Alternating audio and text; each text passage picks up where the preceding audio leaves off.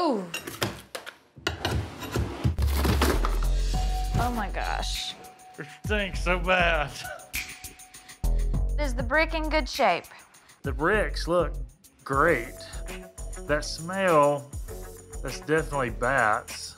It looks like they probably closed this up at some point and then the bats came in afterwards. This means I'm gonna have to get in the attic. You think they're up there? They're somewhere. When we go walking at night, you can see there's just so many old houses. They're all 100 years old around here, and bats just fly out of every rooftop, it seems, all over the neighborhood. And the smell that they make is so bad.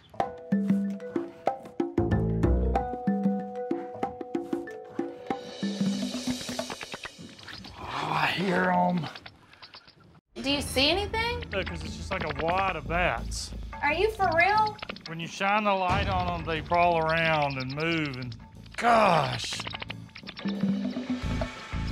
Oh my gosh, there's more over there. Babe, you can't do anything about them. You need to get down. We'll just call an exterminator, huh? Yeah, we had to call somebody. I can't do it.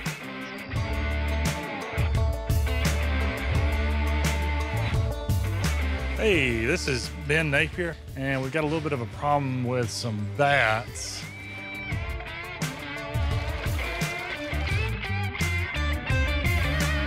Hey, how y'all doing? Hey, Tommy. Tommy with Magnolia Beaver Control. Nice to meet you. Y'all got a little bit of a problem.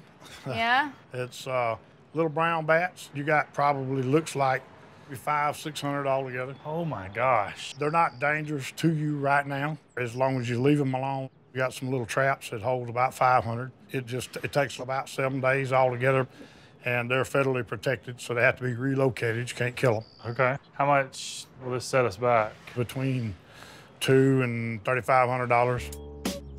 That goes a long way on a house this Yeah. size.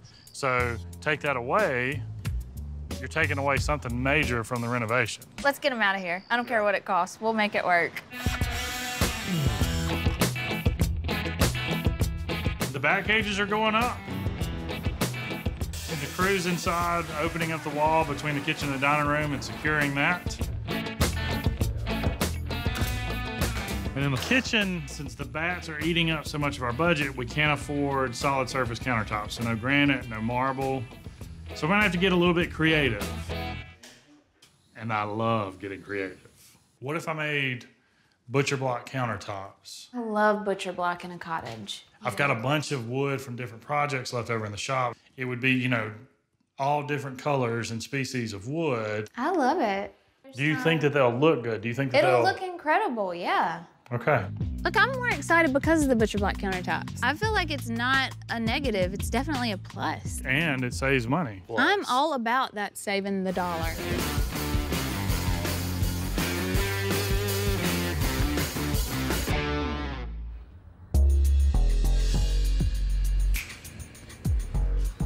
There's like four in there. But that box can hold 500. Maybe they know that we're on to them. Maybe they're on to us. There's another box. That one doesn't have any. Dang it. He said it would take a week to get them all in there. But, like, we got four out of 500. I thought that was a bat. Maybe we need to send out the bat signal.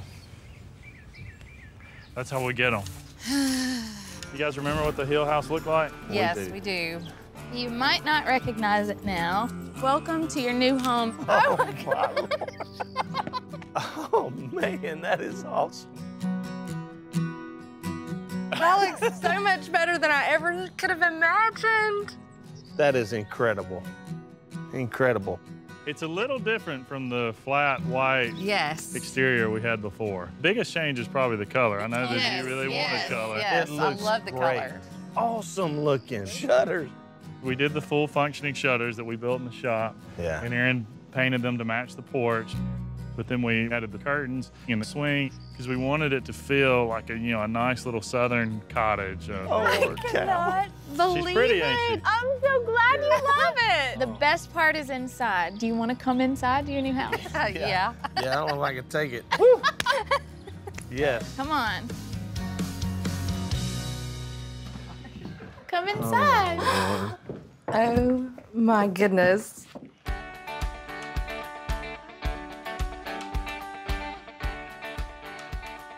It looks awesome.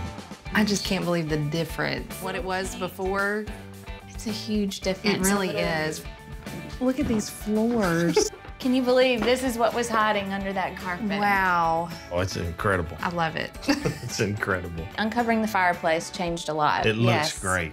and that's what was in there. it smells so much fresher in here. Yeah, and the reason why is because when we first looked at it, what we were all unaware of was the fact that there were about 600 bats living in your attic. Yeah. the smell was real tough. Yeah, we had to call in a specialist because bats are actually protected. So the bats are safe. If y'all want to go see them, you can. We're good. Okay. You can go visit. So you want to come to the dining room? I'm ready. Yes.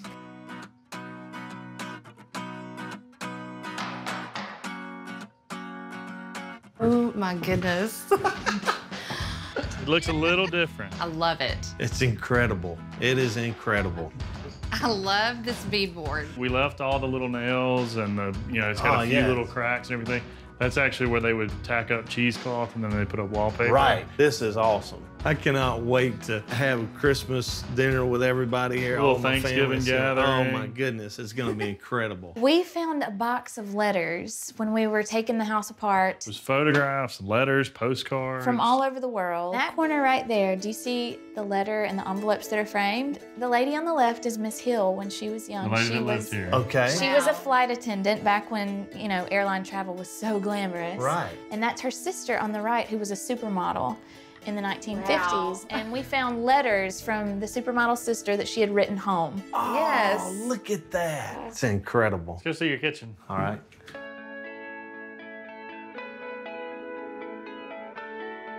Oh my gosh. I cannot believe that this is the same place. I love this. Do you remember how small it Yeah. felt before? Yes. We um, took down the wall. It's nothing at all like it was before. The laundry room, we put up a wall over here and a flat panel door. And then we did this chalkboard on so that the kids will love it. I love it. Look at the floor. I love these floors. I, I love, love a classic checkerboard floor in a kitchen, Right. but I wanted to spin it so that it wasn't such a heavy look. And the Look at the countertop. This is all scrap wood that I had in my shop. They're mostly oak, but there's, There's some mahogany mahogany, and in. some cherry. The countertops were free. We love free, especially when it looks like that. Yeah. I love everything about this. I can't wait to put it to good use. I cannot wait. Well, can you stand one more surprise? Yes. Look at this. Oh, yeah.